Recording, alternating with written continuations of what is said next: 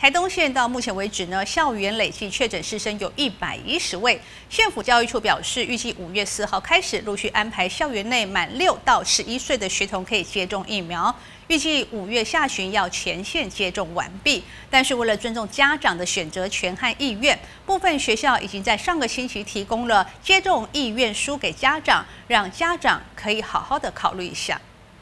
台东校园今天新增了十三位师生确诊，目前累计确诊已有一百一十位。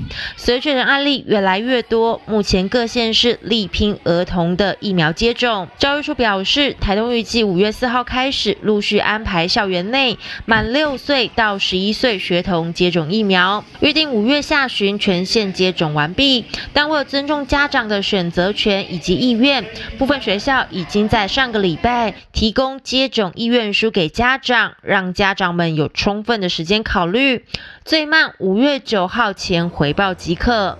而学校方面则会主动联系卫生所预约入校师大时间，台中市区则尽力协调医院协助。而目前几所学校已经暂定了预打的时间，让学生和家长都可以预先做好准备。记者陈安如台东市报道。